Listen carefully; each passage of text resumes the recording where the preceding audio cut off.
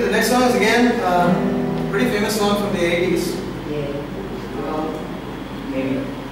yeah, it is from the 80s. The song uh, originally is written with uh, guitar synthesizers and techno beats. Uh, but what you're going to hear now is a duality version of the song. this is a song by the band Tears for Fears. This is called Mad